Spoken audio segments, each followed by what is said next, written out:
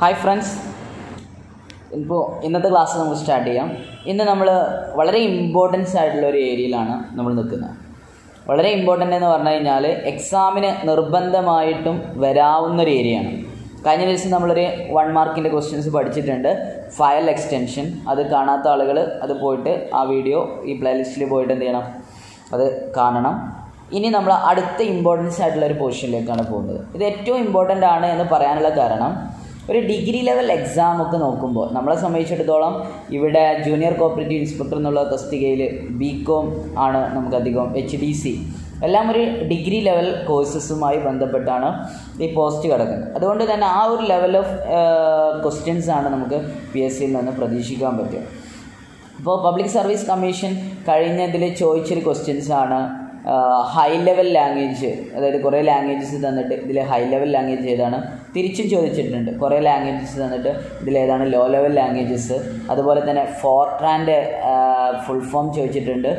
അതുപോലെ തന്നെ ബിറ്റ് എന്താണ്? അതുപോലെ തന്നെ നിബിൾ എന്താണ്? ബൈറ്റ് എന്താണ്? എത്ര ബൈറ്റ് കൂടി ചേർന്നാലാണ് ഒരു മെഗാബൈറ്റ് ആവുക? ഇങ്ങനെ കുറേ കാര്യങ്ങൾ ചോദിച്ചിട്ടുണ്ട്. സോ ഞാനിപ്പോൾ പറയാൻ പോകുന്ന ക്ലാസ് എന്തിനെ കുറിച്ചാണ് എന്ന് നിങ്ങൾക്ക് ഇപ്പോൾ തന്നെ ഓൾറെഡി കിട്ടിയിട്ടുണ്ടാവും. ഇന്ന് നമ്മൾ ക്ലാസ് എടുക്കാൻ പോകുന്നത് കമ്പ്യൂട്ടർ ലാംഗ്വേജിനെ കുറിച്ചാണ്.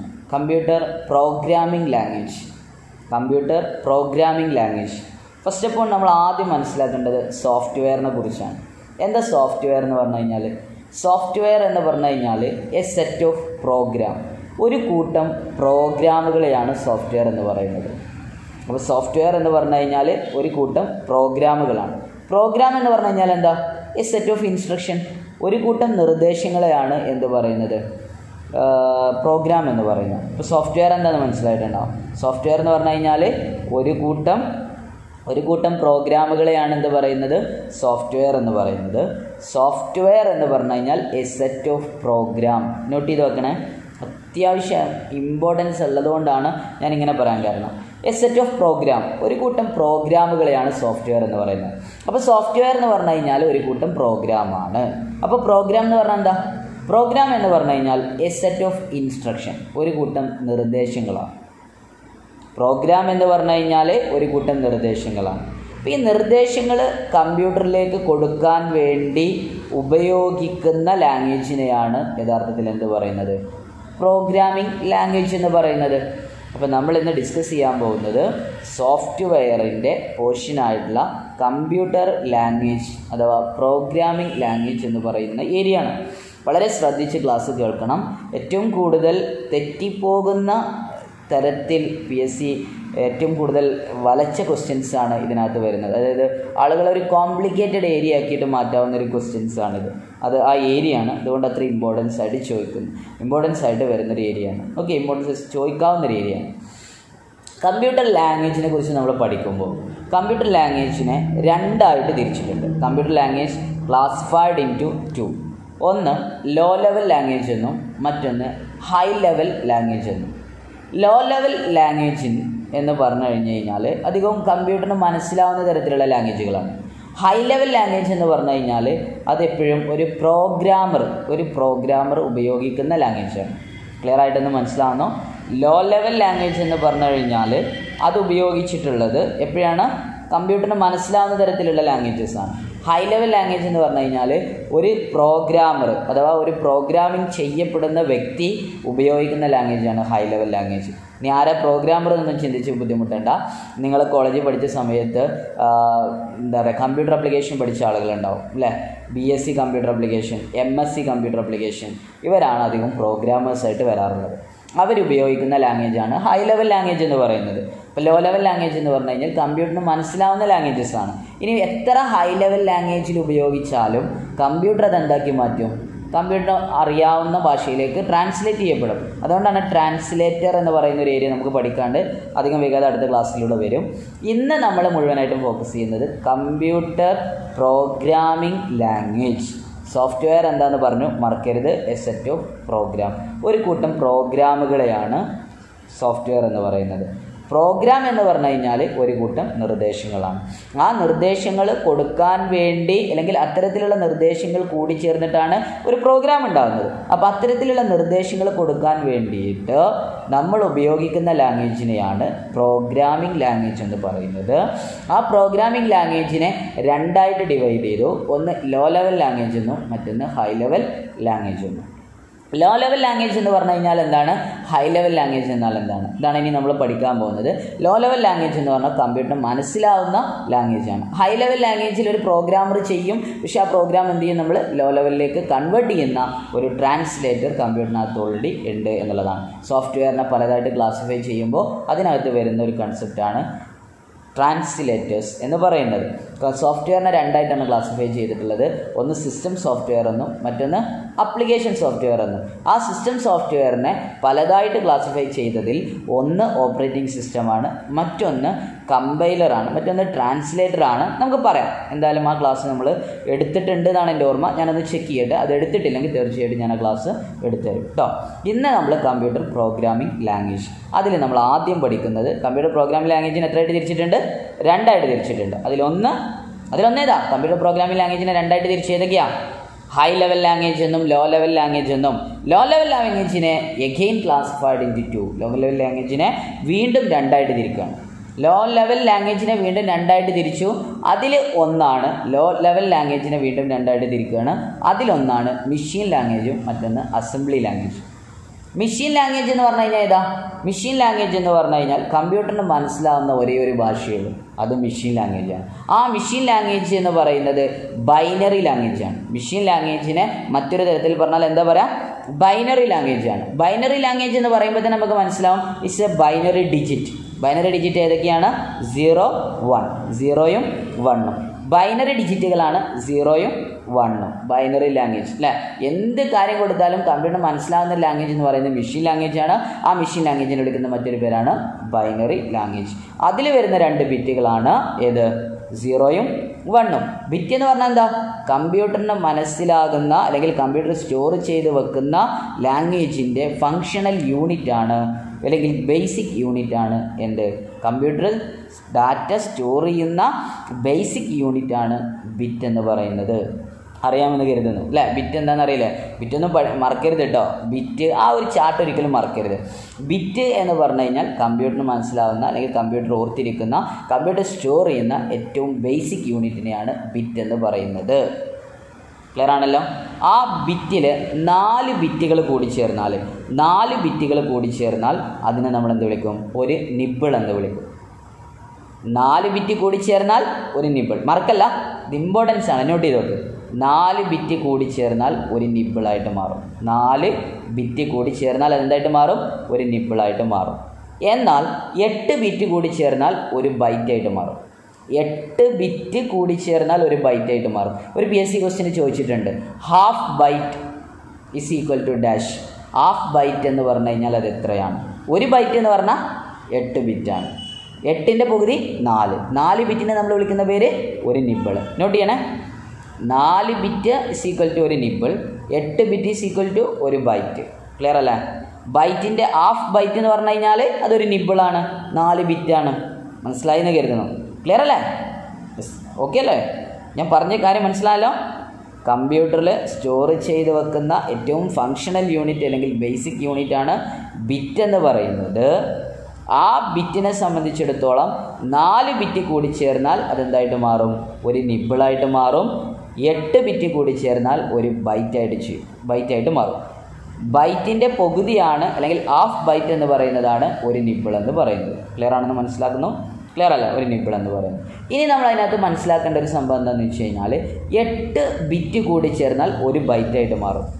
അങ്ങനത്തെ ആയിരത്തി ഇരുപത്തി നാല് ആയിരത്തി ഇരുപത്തി നാല് അങ്ങനെ തന്നെ മനസ്സിലാക്കണേ. ആയിരത്തി ഇരുപത്തി നാല് ബൈറ്റ് കൂടി ചേർന്നാൽ ഒരു കിലോ ബൈറ്റായിട്ട് മാറും. പി എസ് സി ചോദിക്കുന്ന പല ചോദ്യത്തിലും ഈ ആയിരത്തി ഇരുപത്തി നാല് എന്നതിനെ ചിലപ്പോൾ റൗണ്ട് ചെയ്തിട്ട് ആയിരമാക്കി മാറ്റാറുണ്ട്. പഠിക്കാനുള്ള വേഗത്തിനും ചെയ്യാനുള്ള വേഗത്തിനും കമ്പ്യൂട്ടർ ഹാർഡ്വെയർ ടെക്നീഷ്യന്മാരും കമ്പ്യൂട്ടർ പ്രോഗ്രാമിംഗ് ലാംഗ്വേജ് ചെയ്യുന്നവരൊക്കെ ഇതിനെ ആയിരമായിട്ട് കൺസിഡർ ചെയ്യാറുണ്ട്.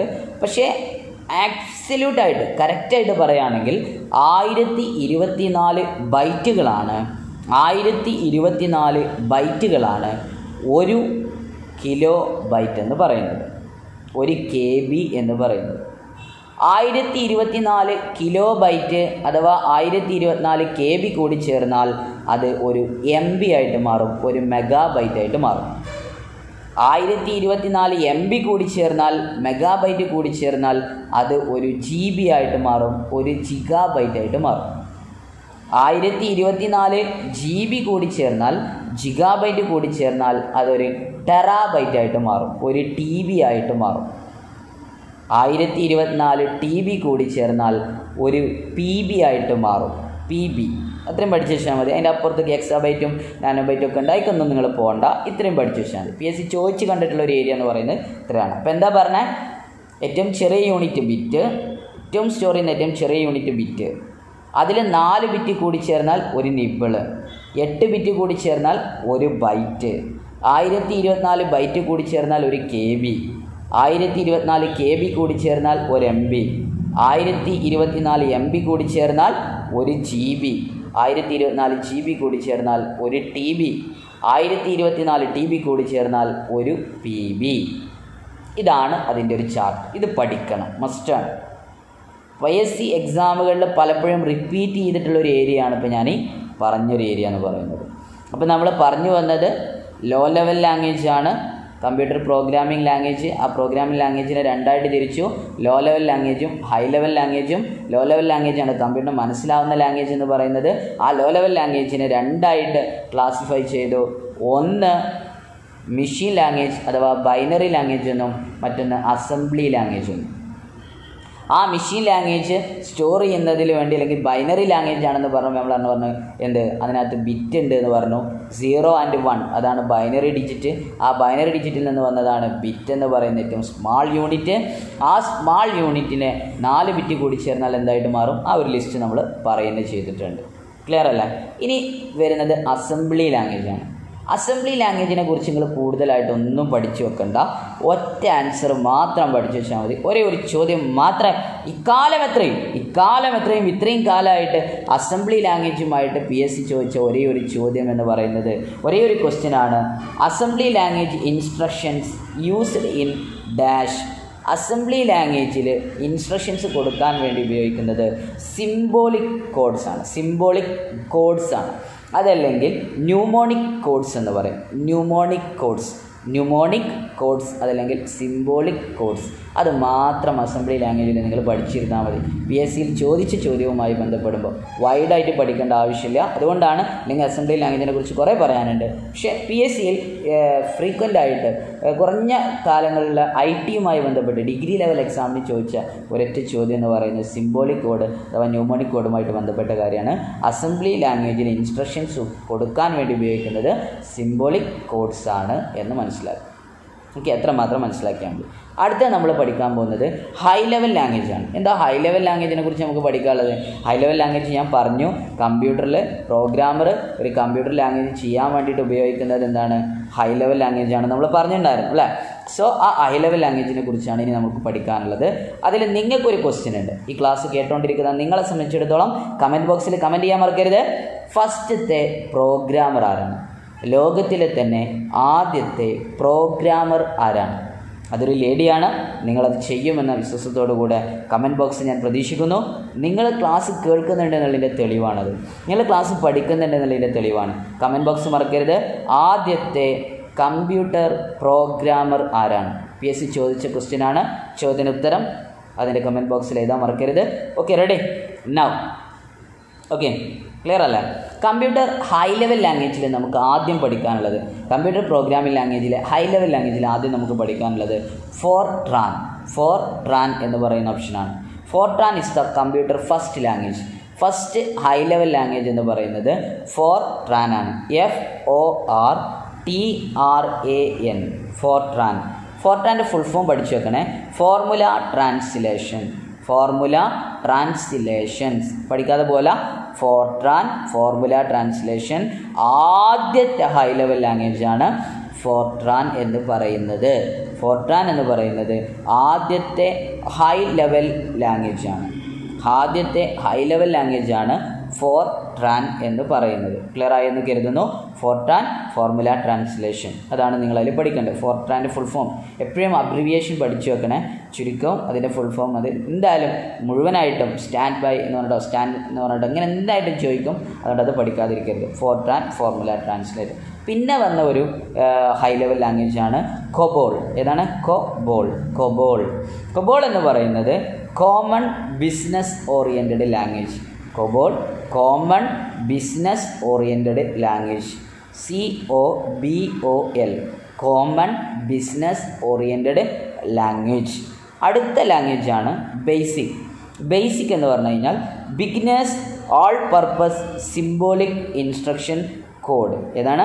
Beginners all purpose symbolic instruction code ഇത് നിർബന്ധമായിട്ടും പഠിക്കണം. ബേസിക്കിന്റെ ഫുൾ ഫോമും ഫോർട്രാന്റെ ഫുൾ ഫോമും എന്തായാലും പഠിച്ചിട്ടേ പോകാവൂ എക്സാമിന് ചോദിച്ച് കണ്ടിട്ടുണ്ട്. കഴിഞ്ഞ ഇതിന്റെ മേലത്തെ യൂണിവേഴ്സിറ്റി അസിസ്റ്റന്റിനൊക്കെ കണ്ടിട്ട് ചോദിച്ച ചോദ്യമാണ് എന്ത്?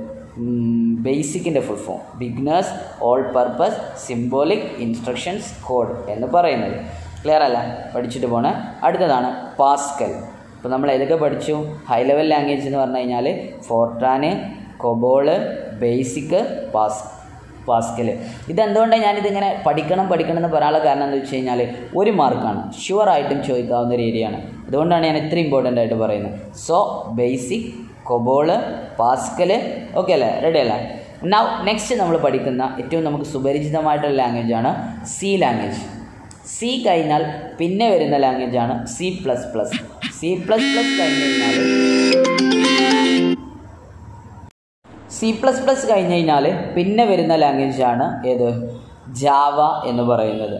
പിന്നെ വരുന്ന ലാംഗ്വേജാണ് പി എച്ച് പി അത് നിർബന്ധമായിട്ടും പഠിക്കണം. അതിന്റെ ഫുൾ ഫോം പഠിക്കണം. പി എച്ച് പിന്റെ ഫുൾ ഫോം എന്താ? ഹൈപ്പർ ടെക്സ്റ്റ് പ്രീ പ്രൊസസ്സർ എന്നാണ്.